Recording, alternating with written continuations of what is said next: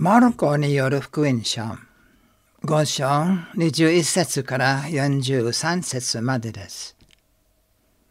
その時、イエスが船に乗って再び向こう岸に渡られると、大勢の群衆がそばに集まってきた。イエスは湖のほとりにおられた。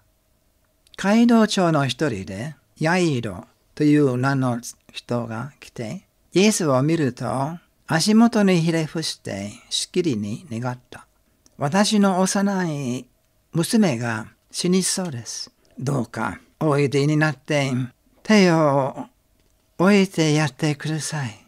そうすれば娘は助かり生きるでしょう。そこでイエスはヤイロと一緒に出かけて行かれた。大勢の群衆もイエスに従い押し迫ってきた。イエスがまた話しておられる時に、街道長の家から人々が来て言った。お嬢さんは亡くなりました。もう先生を煩わすには及ばないでしょう。イエスはその話をそばで聞いた。そして言われた。恐れることはない。ただ信じなさいと。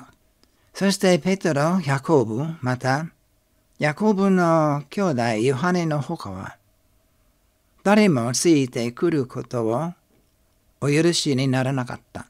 一行は街道長の家に着いた。イエスは人々が大声で泣きわめいて騒いでいるのを見て家の中に入り人々に言われた。なぜ泣き騒ぐのか。子供は死んだのではない。眠っているのだ。人々はイエスを嘲笑った。しかしイエスは皆を外に出し、子供の両親と三人の弟子だけを連れて子供のいるところへ入って行かれた。そして子供の手を取って、垂れた雲と言われた。それは、少女よ、私はあなたに言う。起きなさい。という意味である。少女はすぐに起き上がって歩き出した。もう12歳になっていたからである。それを見るや、人々は驚きのあまり我を忘れた。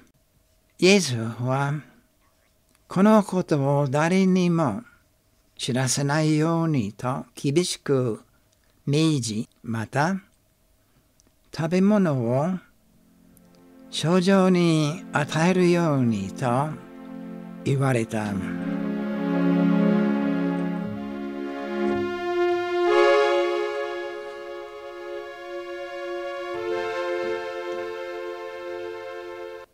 この福音からいろんなことを学ぶことができますでしょう。まず、お父さんのこと、ヤイロという人ですね。うん、彼は街道長の一人でしたね。ところが、こんなことで、娘、わずか12歳になっている娘がもう病気で死にそうだったんですね。ヤイロは希望を失わないで、信仰を持って、信じて、イエス様のところに行って、そしてイエス様の足元にひれ伏して、しっきりに願った。彼から本当に教えられますね。信仰というものはこういうものですね。希望をあまりできないところでも希望を持つ。そしてイエス様に対するその姿勢、イエス様ならば、神様の力、神様であるから、もう手を置くということは結局癒すという意味でしょう。それで、彼は謙虚に、そして信仰を持って、イエス様にお願いするわけ。教えられます。本当に謙虚さが大切です。そして望み、希望を持って、信じて、願うこと。それも教えられます。その街道町ヤイロから学ぶことです。イエス様の答えも非常に素晴らしいですね。全人類のために来られました。救い主として。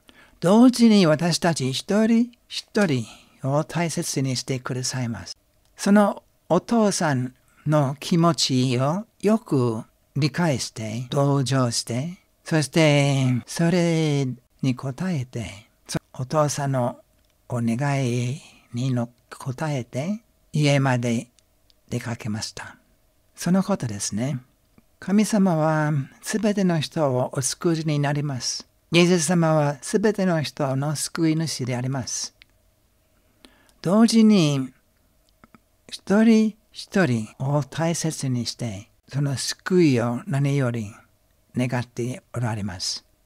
その後のことは先ほど読み上げたようにその娘さんの手を取ってそして少女よ私はあなたに言う。起きなさい。と言われたんです。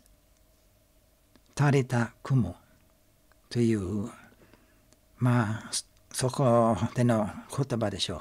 不思議なことですが、その少女が目を開けて、立ち上がって歩き回りました。ちょっと弱いようでしたかな知りませんけれども、イエス様は食べ物をこの少女に与えなさいと言われたんです。